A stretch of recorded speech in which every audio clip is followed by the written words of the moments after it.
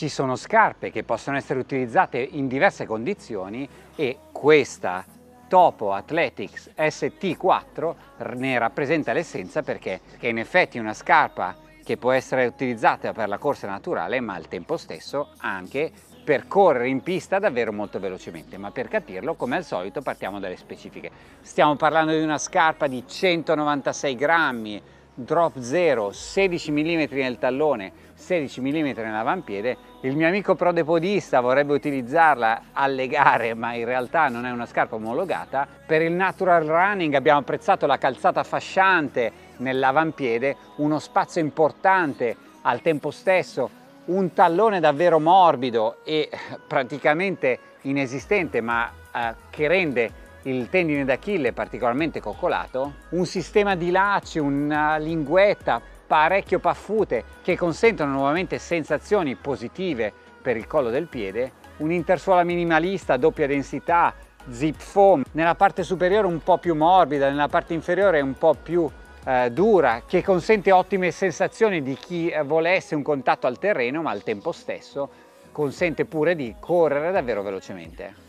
A completare poi la sensazione di morbidezza poi c'è la solita eh, soletta Ortolite che vi consente in effetti una sorta di cuscino anche se ovviamente i 16 mm di altezza dal suolo non consentono di avere una sensazione equivalente a quella invece di altre scarpe, però per chi ama il natural running questa scarpa potrebbe sicuramente essere adatta anche grazie al fatto che è davvero molto flessibile e vi consente di gestire al meglio gli esercizi di tecnica di corsa. Come al solito c'è il solito battistrada in casa topo che secondo me è molto efficace a condizione di non essere utilizzato su pista bianca.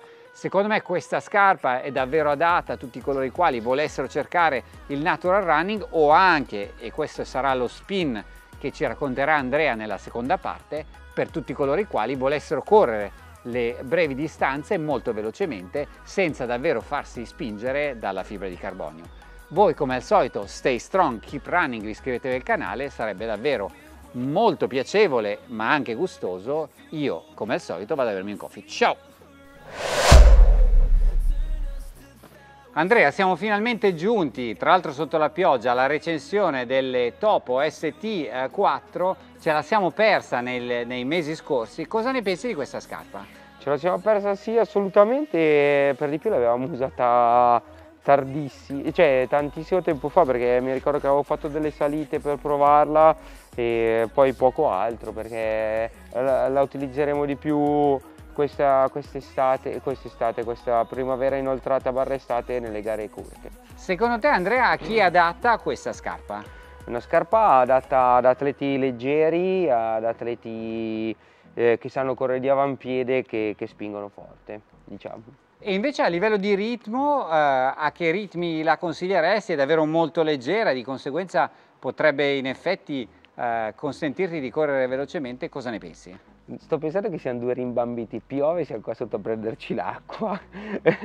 no, è una scarpa secondo me assolutamente da usare sotto i 4 al chilometro. Invece a livello di distanze, fino a che distanze le utilizzeresti? Direi o gare spurie, ma sempre sotto i 10 km o, secondo, o van benissimo per le 5 km.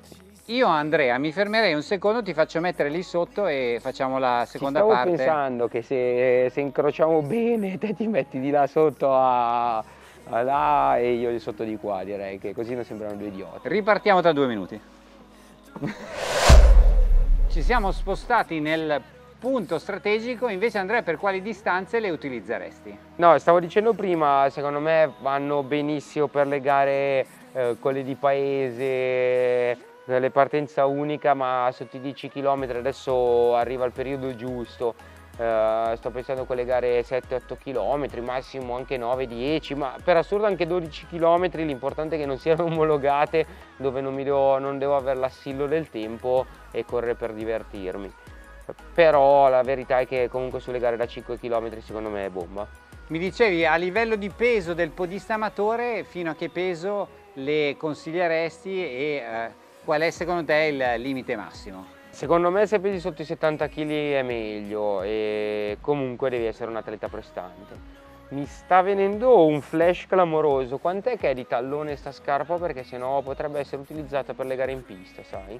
Dal tuo punto di vista, in effetti, secondo me potrebbe essere utilizzata, bisogna metterò sopra in sovraimpressione se la scarpa è omologata, non credo. Eh, comunque secondo te ti consente questa scarpa di spingere davvero velocemente grazie all'intersuola eh, molto interessante Zip Foam? L'intersuola ce n'è relativamente poca. Devo dire che eh, l'idea di questa scarpa è scarpa leggera e, scarpa che spinge, quindi eh, leggerezza ai piedi e un po' di intersuola che comunque aiuta. A livello di tomaia, come l'hai vista, c'è un grande spazio nell'avampiede, cosa ne pensi? Sì, c'è un grande spazio nell'avampiede come, come, solito in casa Topo, eh, però dopo che la, la leghi bene pie, al piede, il collo del piede rimane bello bloccato e quindi super. Uh, guarda qua il tallone, l'avevamo già fatto vedere, praticamente inesistente e niente, secondo me è top come scarpa da gara o da ripetute brevi. Secondo me sono anche ottime per fare gli esercizi di tecnica di corsa. Invece a livello di intersuola dello, parlavamo dello zip foam, come l'hai vista la, la, la ritieni reattiva oppure più protettiva? Bah, è una scarpa diciamo così vecchio stampo, è sicuramente reattiva ma ti ripeto reattiva soprattutto grazie a questa, questo avampiede molto ampio che, che, da, che mi fa correre forte. A livello di stabilità come l'hai vista e eh, chiaramente l'hai utilizzata soltanto per correre forte, cosa ne pensi? Bah, intanto è una scarpa per correre forte, è una scarpa per correre da freschi, quindi già il piede non cede di per sé. In più, eh, come si dice, la zona di appoggio è davvero ampia ed è una scarpa molto bassa, quindi per cui eh, lo spazio per pronare è davvero poco. A livello di battistrada invece come l'hai vista stiamo sempre parlando del battistrada abbastanza classico di Topo, cosa ne pensi? Sì, abbastanza classico, credo che sia proprio identico alle altre, uh, direi che è buonissimo ovunque, un po' meno su pista bianca. Però correndo in pista non l'hai sentito uh, particolarmente cedevole. No, no, no, assolutamente, va via bene. Infatti davvero bisogna controllare quella cosa, per di più eh, bisogna vedere se le, se le, altezze più che altro sono, sono dentro o no, perché su World Athletics in effetti potrebbe essere che non l'abbiano omologata perché non, non ha fatto richiesta topo, adesso c'è un giro un po' strano bisognerebbe capirla sta cosa qua. A livello di calzata suggerisci stesso numero o mezzo numero in più o in meno? Ma no, no, direi che, che va benissimo così. Uh, ti ripeto, quando la, la, leghi è bella stretta e lo spazio in avampiede c'è comunque dello stesso numero, va benissimo. E secondo te quali sono i pregi e difetti di questa ST4? Ma eh, il pregio è che in casa Toppo mancava la scarpa racing, hanno fatto una scarpa racing.